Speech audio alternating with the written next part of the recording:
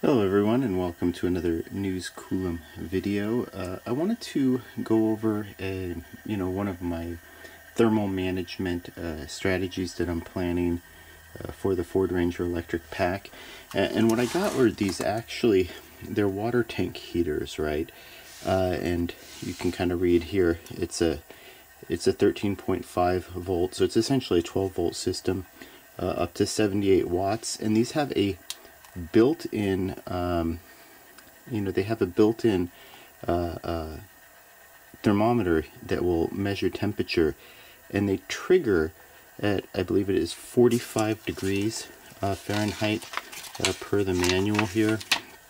Um, and uh, and then they'll continue uh, heating up until it gets to, to 68 degrees Fahrenheit, which basically keeps lithium iron phosphate uh, in their happy zone. 45 degrees is pretty cold, but it's operable.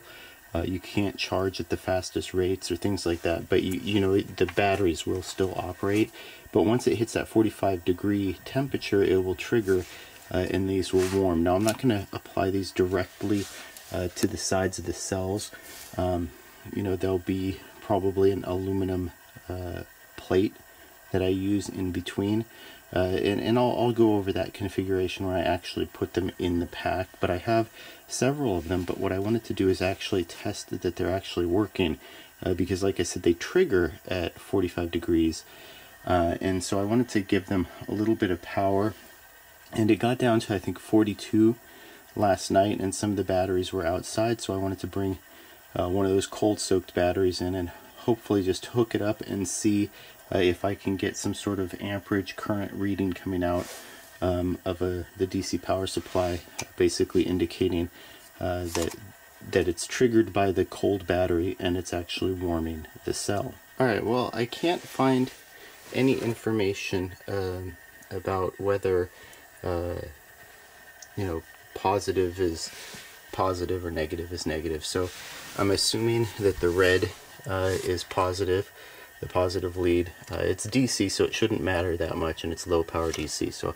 I've already got the positive lead hooked up, and I'm just going to hook over to the negative. And like I said, this might or might not uh, be uh, cool enough to trigger it, but it is cool to the touch. Um, and so hopefully I can get some sort of a reading somewhere. Um, and I don't know where in the pad the uh, thermistor is. Alright, so unfortunately it looks like it's not really triggering any sort of a response. Now, it's possible that the battery cell itself didn't get down to 45 degrees. Like I said, it was only 42, um, but that's a little bit unfortunate. I'm going to need to maybe do a little bit of dissecting to find exactly where on here uh, the, the thermistor is, and then, um, yeah, I see here it is 45 degrees. Um, find where the thermistor is and then just verify because I do want to test each one of these. I think I got nine of these cells, uh, nine of these pads. So I want to test each one to make sure each one is working and each one is triggering uh, when it's supposed to be. Alright, well, that's good news and bad news. I just hooked up this second pad, and it immediately started up, immediately started drawing uh, a little over 5 amps, um, just positive to positive.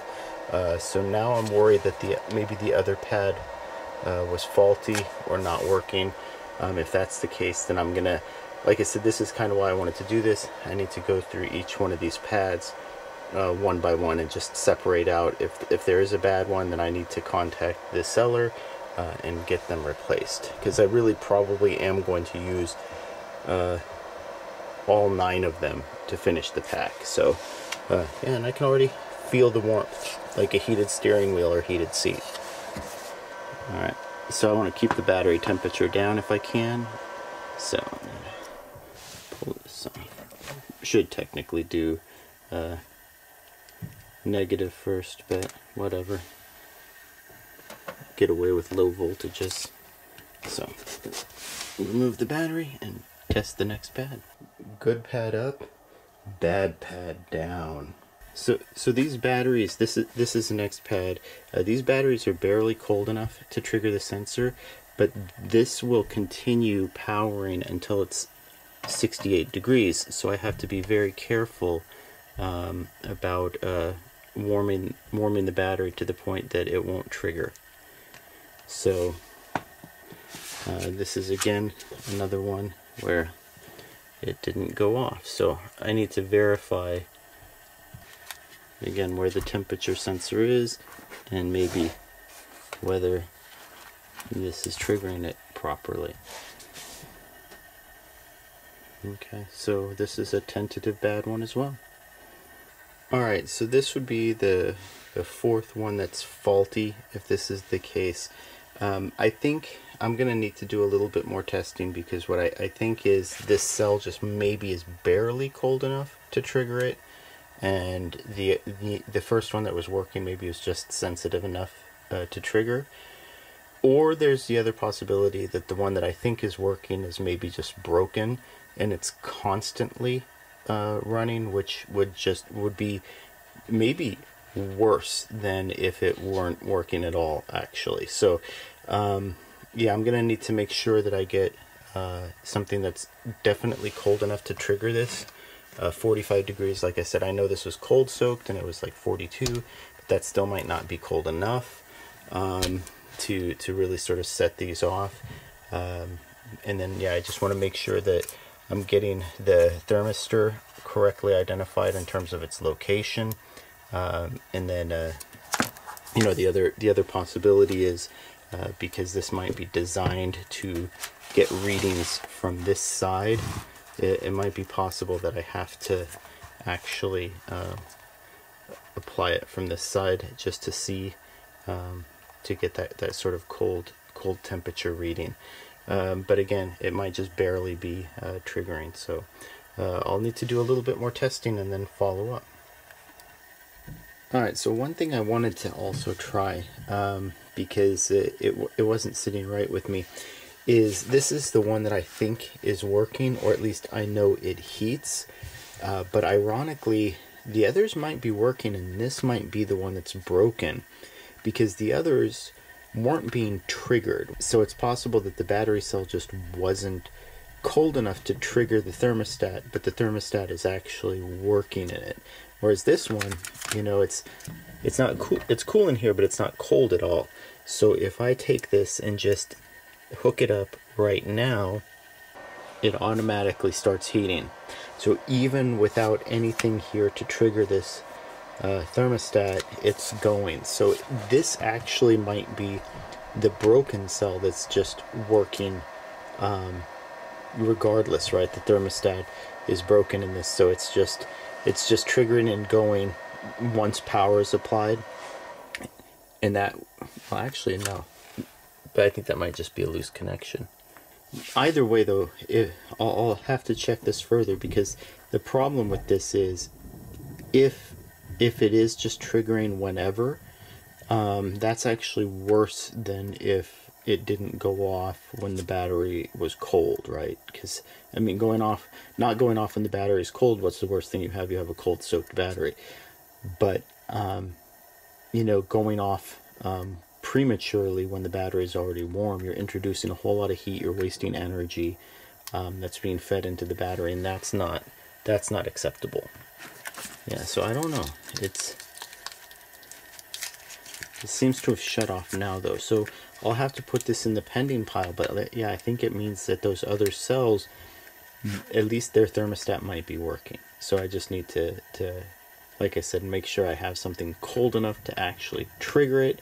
Maybe just chilling the entire plate itself and then hooking it up to the power. So I might end up doing that. Alright, well, um, I uh, decided to let these cold soak out night, outside overnight. Um, it got down to about 40 so uh, left the battery cell in the box for good measure because it's also uh, pretty chilly um, but but yeah so I think I'm gonna pull all of these pads out uh, the one that came on before uh, even when I, without anything cold attached to it eventually did shut off so that might have just been the the trigger. So like I said, it might simply be that that one was cold enough to trigger, but the others weren't.